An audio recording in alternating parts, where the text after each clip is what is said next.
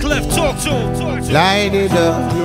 Ah, how with the green lantern. Hmm. Light it up. Clef said so. Okay, okay. If I was president. I roll it up on Friday. Uh-huh. Smoke it up on Saturday. Smoke some more Sunday. Then go back to work on Monday. If I was president and Green Lantern was the vice president.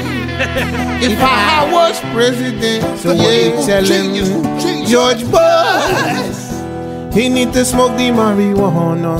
No doubt. Yeah, Saddam Hussein, he should have smoked the marijuana. He could have put one in the air. In the air. The Twin Towers would still be here today if Osama bin Laden, if he smoke the marijuana. Hey, Mr. Lantern, what do we tell them?